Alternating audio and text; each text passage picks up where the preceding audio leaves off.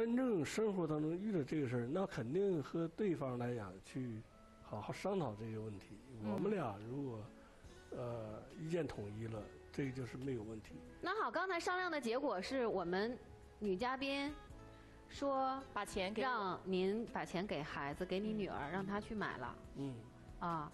您同意是吗？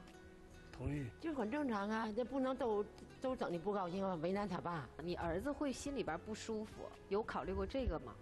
那个也考虑，但是我会告诉他，自己挣钱自己买。这是你一直以来给他的教育理对念吗？嗯，咱俩留着点钱就过河了，将来万一有啥毛病，抢救都没钱。就对我们叔叔今天的这个做法，你觉得你满意吗？不太满意。我觉得财产应该是两个人共同商议去分配，而不是说嗯突然某一天某一方就随随便便头脑一热就做就去做决定。那后来你妈妈同意了呀？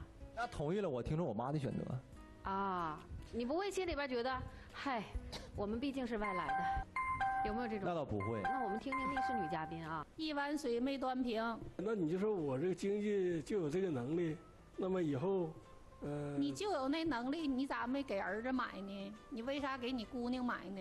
姑娘是亲生的，儿子不是呗？也不是这么想啊，因为可能是姑娘先提出来的，儿子后提出来的，先提的就有理，后提的你就就不管呗。不是这样。我认为就是说，呃，给一碗水要端平，还分先后吗？你姑娘就是提出来了，儿子没提，你给你姑娘买，你也同时也能想到，儿子需不需要啊？给姑娘买不给儿子买吗？啊，刚才我也说了，我说八万块钱给他俩加四万呢。少偏点儿。这碗水可以端不平，但是别都洒出去。我站在弟弟角度想一个问题，他缺失父爱十几年了。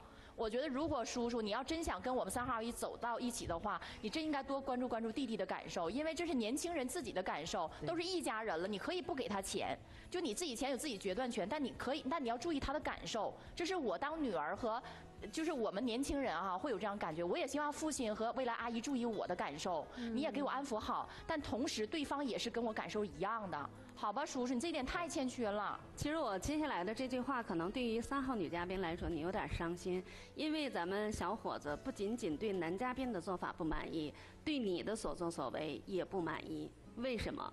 因为不仅仅是这一段，他一直在强调，如果夫妻共有的财产的话，一定是双方的，是吧？最起码应该是一分为二。如果真的这个钱就是你出的话，也应该找到一个合理的安抚他的一个办法，这是作为母亲必须要做的。因为如果你一旦要步入家庭的话，男嘉宾的做法特别能够伤对方孩子的心，女嘉宾你的做法不仅仅能够伤到对方孩子的心，更重要的是要注意到你自己孩子的他的心理的承受能力。所以你说可以呀、这是父亲的钱啊，就应该给他孩子，咱自己可以不要。你当他孩子的面儿，以及当男嘉宾的面儿，你都说儿子，咱可以不要这个啊，这让他去买吧。你这是对孩子最大的一个伤害，你知道吗？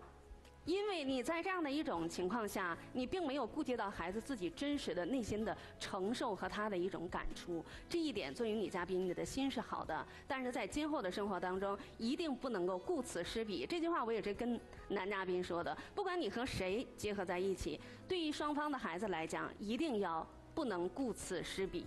就不用合计，后讨人太难了，我跟你说。女嘉宾儿子，你先下去稍作休息。再见，张叔叔。好，他家的儿子，人家替他妈出头。对，嗯。你这儿子教育的就挺好，挺阳光，挺积极。他也知道我自己要什么，我能要什么，并且说的是条条是道的。你害不害怕？那没有什么怕，那有什么怕的？都有自己的生活，对不对？嗯。呃，如果他们有困难了，我们在有能力情况下，我们伸出手帮他一把，这都很正常。我们没有问啊，男嘉宾自己主动的就把自己想要承担和认为是自己的责任承担过来了，也表示说有能力一定要帮。这可能也是因为我们女嘉宾你表现的也很到位，你值得他才会如此说。好，来二位请起。你瞅他，他拿钱看挺重。哎，两个通情达理的人，两个通情达理的家庭啊，如果真的能走到一起去，我们相信，就今天现场出现的这种相对看似有点尴尬的局面是不会发生的。那就我们女嘉宾而言，真的就像一个润滑剂一样，在这个家庭里边起到了一个女主人的作用。如果说真的能够娶到家，也算是您的福气了。对，来，我们女嘉宾可以稍作休息啊，思考一下我们男嘉宾到底适不适合您。来，这边请。这个性格不太合。